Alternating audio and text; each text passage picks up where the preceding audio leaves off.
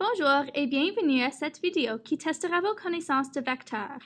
Après chaque question, vous pouvez poser la vidéo pour avoir la chance d'essayer de répondre à la question. Par la suite, la réponse sera expliquée. Voici la question.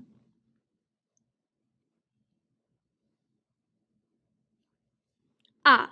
Afin de trouver le produit scalaire, il faut utiliser cette formule. Avec la formule, on trouve que la réponse est moins 19. B.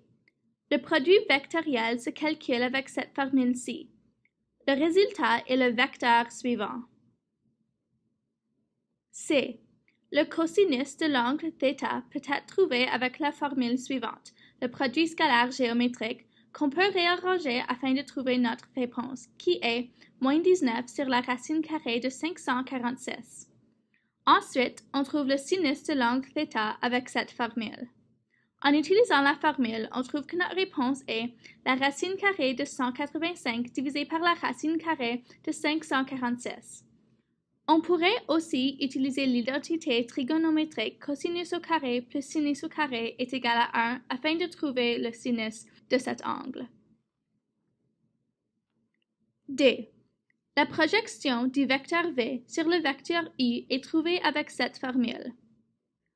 On trouve que notre réponse est le vecteur suivant. E. Finalement, on peut trouver le volume du parallélépipède en trouvant la valeur absolue du produit scalaire de W et le produit vectoriel de U et V. En faisant ceci, on trouve que notre réponse est de 25.